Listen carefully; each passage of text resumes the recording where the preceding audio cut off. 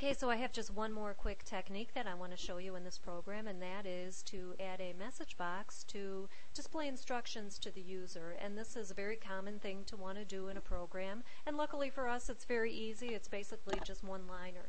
So I am going to start by typing in FC Dialog. So this comes from that Fremi extension package that I had you install in the beginning of the semester.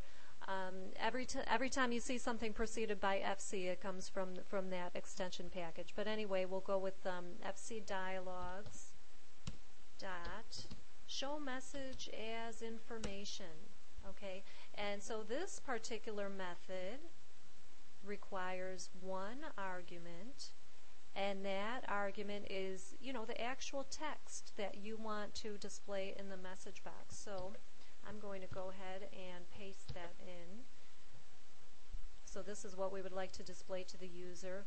Um, what I've provided here, this here, this whole thing in quotes, that's called a string in programming, like a string of characters, kind of all strung together like beads on a necklace and contained in quotes.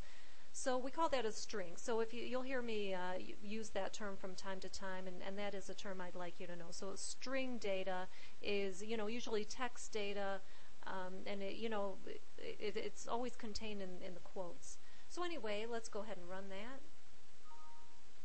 Here's our message box, and that is the string that I provided as an argument, and now it's being displayed to the user.